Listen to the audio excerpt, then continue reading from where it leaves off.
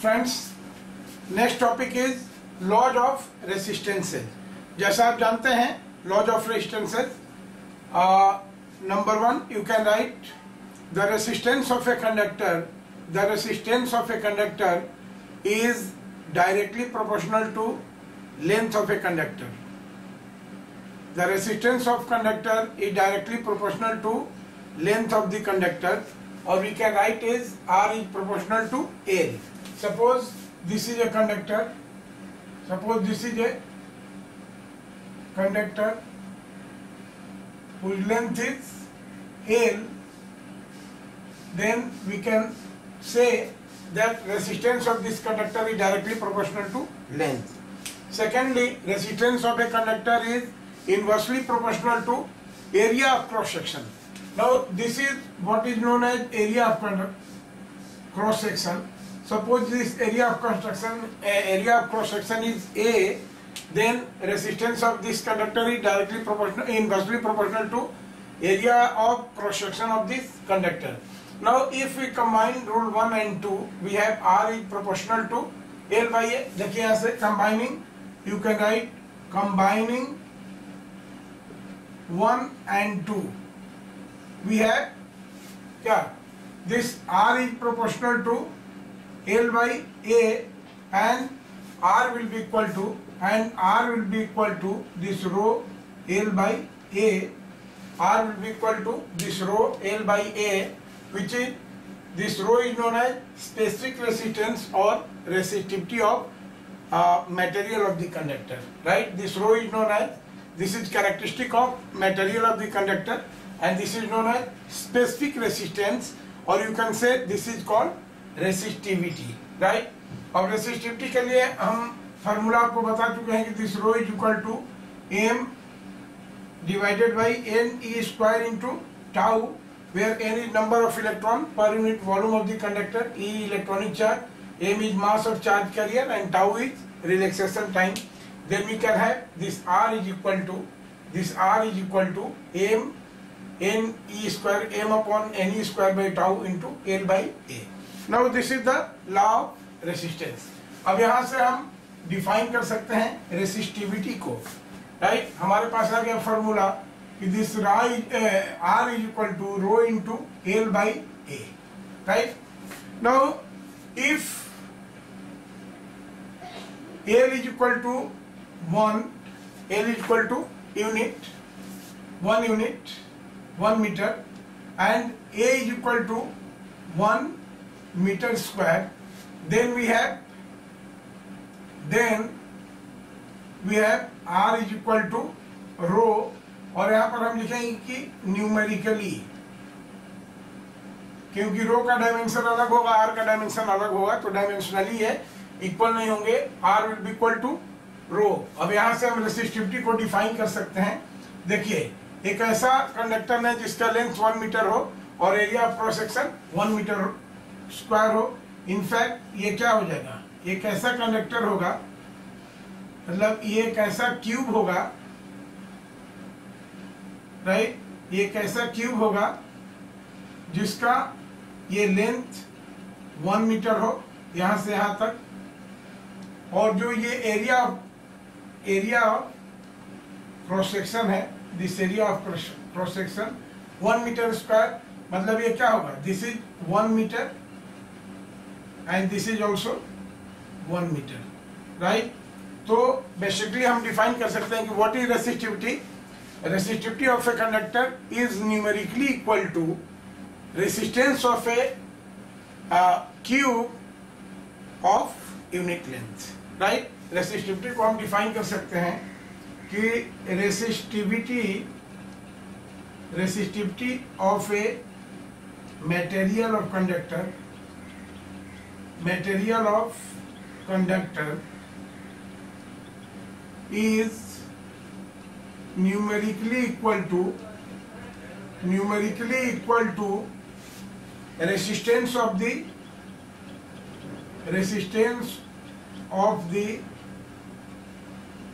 conductor resistance of the conductor of unit q एक ऐसे Q के रेसिस्टेंस के इक्वल होगा रेसिस्टिविटी उस मटेरियल का राइट right? जिसका लेंथ यूनिटी हो।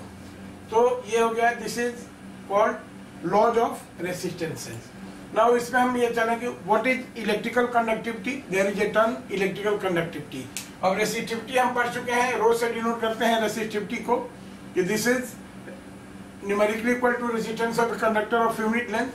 Now this is characteristic of अब सपोज़ हम कॉपर की बात करें तो कॉपर किसी भी सेप में हो, किसी भी लेंथ में हो, उसकी रेसिस्टिविटी सेम होगी।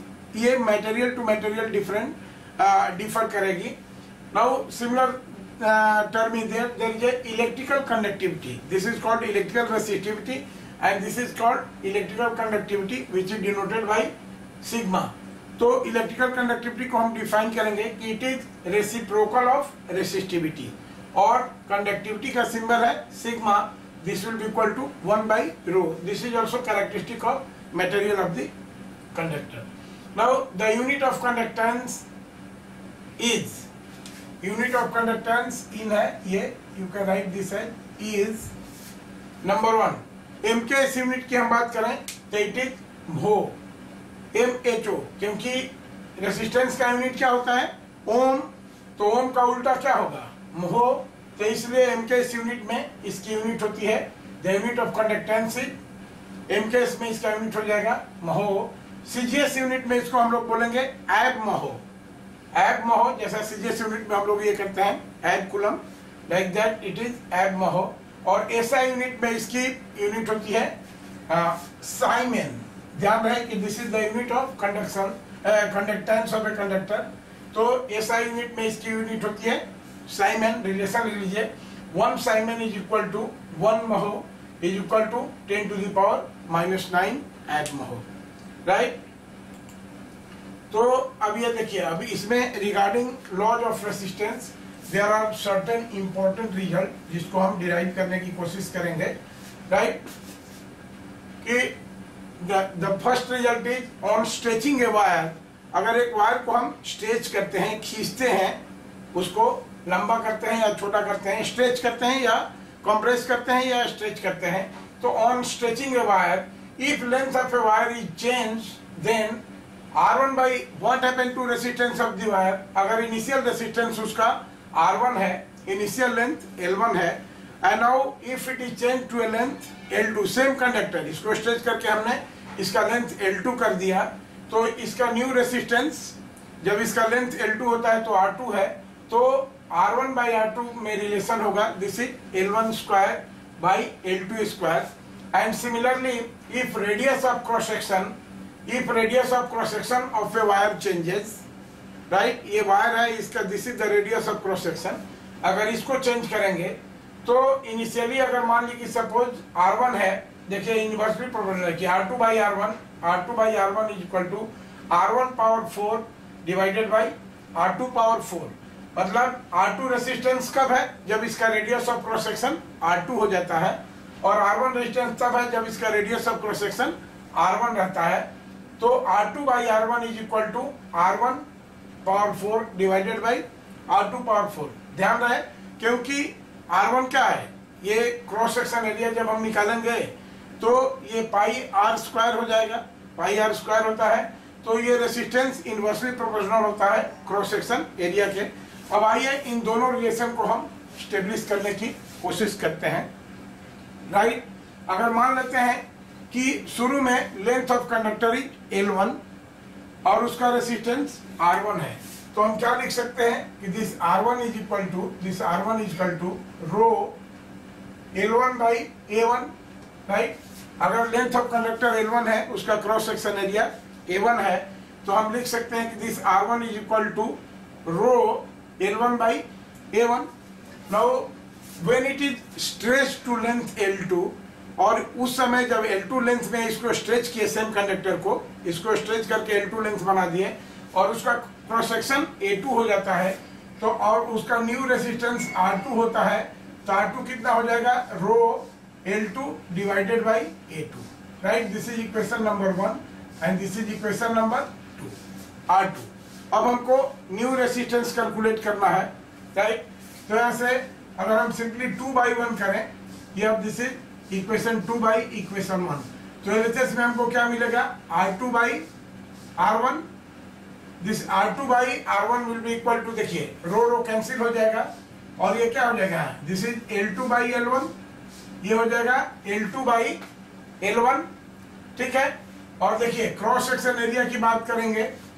क्रॉस सेक्शन एरिया तो इनवर्सली प्रोपोर्शनल है, इसलिए आर टू का आर टू के लिए क्रॉस सेक्शन एरिया कहाँ रहेगा?